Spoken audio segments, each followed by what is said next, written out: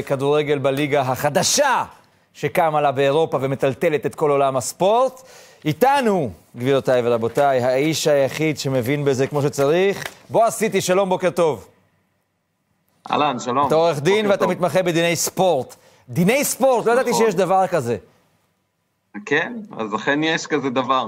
מה המשמעויות? שמע, זה, זה, זה, זה, זה הפך לאיומים מצד הפיפ"א, שמי שלא משחק בליגה הזאת לא יוכל לשחק בבינלאומי וזה... תן, תן לנו שנייה את מאחורי הקלעים של המשפט בספורט.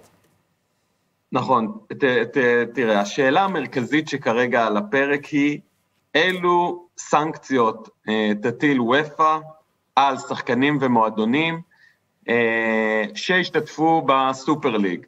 אנחנו יודעים שכבר אתמול ופא אמרה שהאיום המרכזי שלה יהיה ששחקן שהשתתף בסופר ליג לא יוכל להשתתף לא ביורו ולא במונדיאל שמארגן את פיפ"א.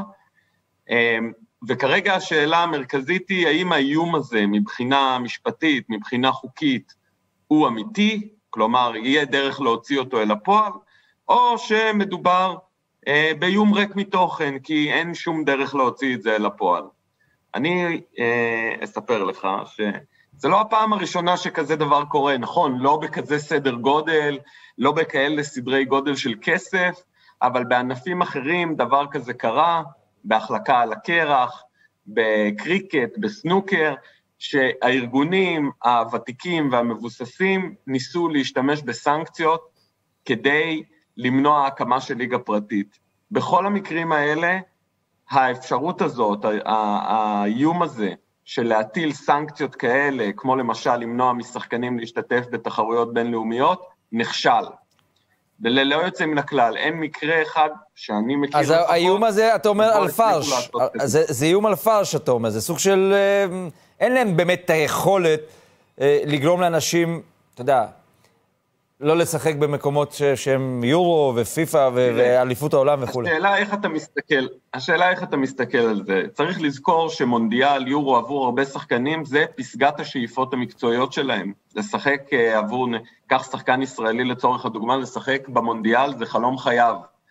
ולכן האיום הזה, גם אם לא יודעים אם הוא באמת יתממש בסוף או לא, אחרי מאבקים משפטיים, התקווה של וופא היא שהאיום הזה, עצם האיום כן. יגרום לכך ששחקנים יחשבו פעמיים ויגידו לקבוצות, רגע, שנייה, יש כאן בעיה, ובואו נראה איך אנחנו פותרים את זה. אבל יש זו הרבה, התקווה הרבה, הכי- זה לא פעם ראשונה, נכון? מבחינה, מבחינת ההתנהלות הזאת של שחקנים וכל מיני גופים שקמים על הליגה, כמו שאומרים.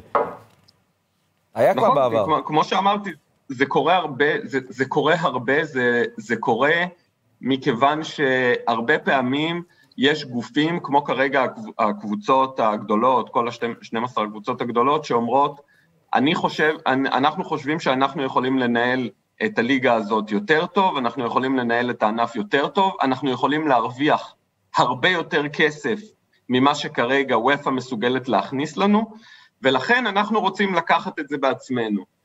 עכשיו, יש פה הרבה מאוד כסף, אבל מעבר למשפט ומעבר לכסף, יש כאן גם הרבה הרבה הרבה פוליטיקה, אה, כמו ששמתם לב, כמו שאפשר היה לשים לב, ראשי מדינות, לא פחות, כבר מצייצים על הדבר הזה ותומכים בצעדים של וופא, או שלא תומכים בצעדים של וופא.